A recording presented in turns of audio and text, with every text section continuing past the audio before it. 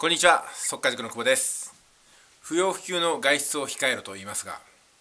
普段から外出がほとんどない私にとってあまり変わらない暮らしでございます。えっとですね億万長者合宿の動画をご覧いただきましてありがとうございます。ついにねあの広島でも出たんですよ。緊急事態宣言といいますか週末の不要不急の外出を控えるようにと県知事の方からお達しがありました。うん連日ね広島でも確かに感染者増えてるんですよね。で今回のテーマはですね事実と感情という話をしましょうか。まず事実から申し上げます。事実ですね。急性アルコール中毒でお亡くなりになる方年間で1万7000人だそうです。で、えーと、自殺者自殺者が年間で1万8000人、うん、多いですね。でですねその他そうですね交通事故の死亡者数ですか。こちらの方もだいぶ減ったとは言いますけどもまだね、えー、2万5,000人ぐらいだったかないらっしゃるそうですね。本当に痛ましいことでございます。まあでもねお酒を飲みすぎると死んでしまうから気をつけろみたいなことでなんかムーブメントというかね連日テレビで放送されたりっていうのはないですね。交通事故も呼びかけはあるんですけどももう幾分慣れてしまったというか普通にね運転したりまあ道路を行ったりとかしてます。うん、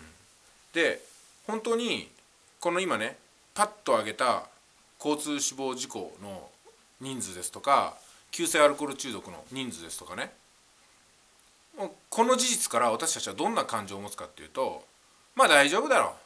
ていう感情で運転もするしねお酒も飲んでるわけですよ。ストロングゼロとかね飲んでるわけですよ。でもどうなんでしょうか？最近流行ってるあのね例の伝染病ですけどもこのね感染症ですけどもこれについては今のところ1日に3人ぐらいのペースですよね。123月と数えてみて百数名の方がお亡くなりになっていてそれはそれですごく痛ましいことなんですけども1日3人ぐらいなんですよお亡くなりになってるのが。数で言えば多い方ではないです。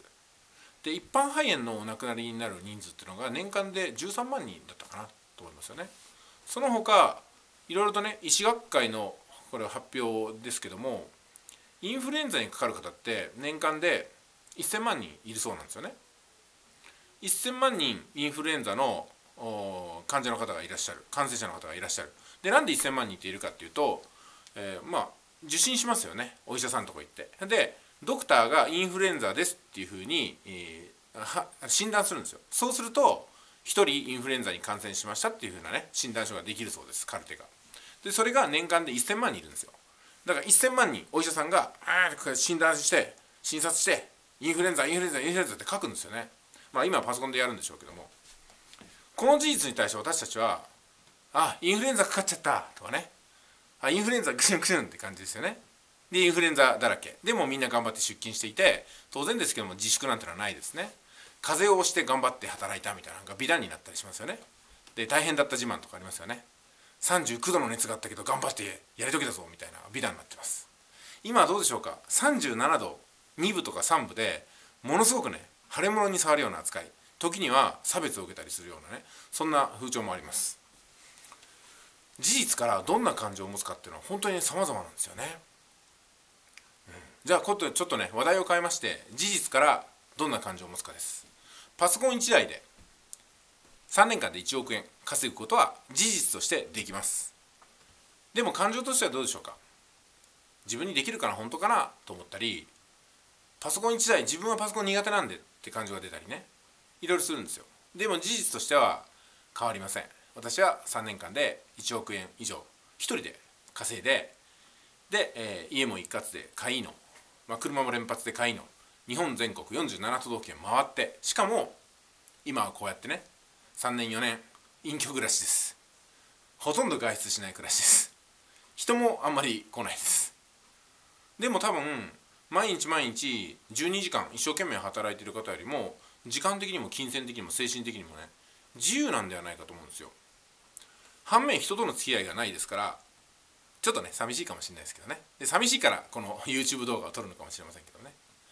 でこういうふうなバランスなんですよね。事実からどんな感情を持つかってことを考えると同じ事実からこっちの感情を持つ人こっちの感情を持つ人が現れるんですよね。でこっちの感情を持った人はこっちの感情を持つ人に対して相入れないものを感じたりするんですよね。でも事実ってのは変わらないわけですよ。パソコン1台でインターネットで YouTube でちゃんとお金が稼げると。YouTube でお金が稼げると。YouTube でお金が稼げるとこういう事実は今散見されてるんですよ。でも YouTube でお金を稼ぐぞって言った人の感情ってのはいや自分には無理かなとか今日は忙しいからできないなと。またそのうちやろうっていうふうに感情が行ったり来たりするんですよ。事実は変わらないんですよ。YouTube がお金につながってるって事実は変わらないんですよ。お金が稼げる自由が勝ち取れるって事実は変わらないんですよ。でもその事実から別の感情を持って無理だろうっていう感情ね思ってしまうのは取り組む人一人一人のここにあるんですよね。私は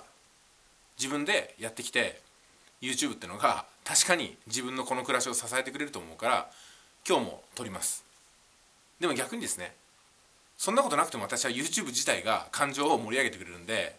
もう止められてもやりますねきっとね。死ぬまでやりますね。報酬になるならない関係ないです。やりますね。YouTube ね、だから私は YouTube っていう事実に対して、自分でね自撮りをしたいっていうそういう感情が湧き起こるんですよでもおそらくですけども挫折する方っていうのは YouTube ってものその事実に対して自分は YouTube で稼げる人間ではないっていう感情を持ってしまうんじゃないかなと思うんですよね。うんまあ、今回はね事実と感情っていうお話をさせていただきました。うん、事実はね本当に一つでもそこから受け取る感情っていうのは十人十色じゃあ十人十色のどの感情を持つと自分の人生が有利になるのか。これがねなかなか難しいところですよね。それでは本日は以上です。